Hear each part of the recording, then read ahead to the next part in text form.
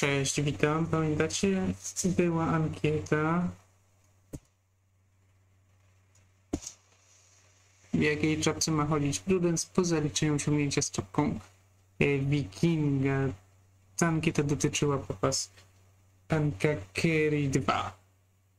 No więc przyszedł czas, aby tą ankietę podsumować, zamknąć i ogłosić e, wynik waszego głosowania. W sumie Dawno nie podsumowałem ankiety z taką ilością głosów jak tutaj.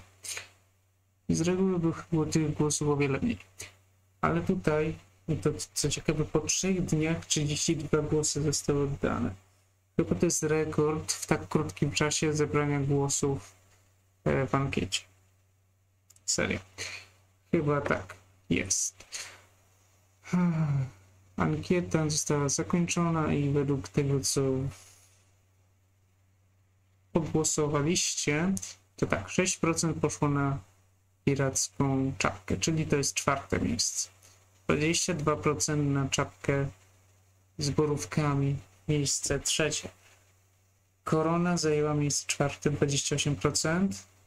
No i pierwsze miejsce 44%, czyli czapka szefa.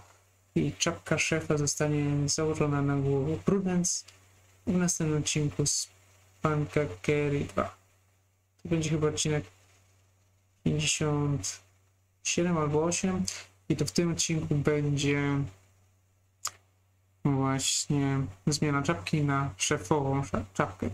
Po zrobieniu osiągnięcia z czapką szefa pewnie też zrobię ankietę i znowu będzie opcja tym razem tylko trzech czapek. Jedną z tych trzech czapek wybierzecie i Prudence ją ubierze. Tymczasem do zobaczenia w odcinkach następnych. Cześć.